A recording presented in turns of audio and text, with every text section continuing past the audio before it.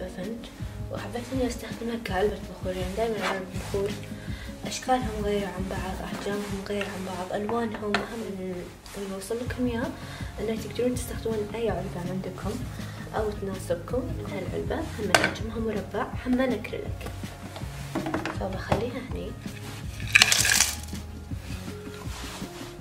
أي نوع عندك حلو تحبينه ولابق مع باقي غرفتك تحطينه بحط ثلاث لأن عندي ثلاث أنواع من البخور اللي أستخدمهم بشكل يومي والمعمول. في نفس هالاكريليك هم عندي إياه. أظن ماخذته من إيكيا.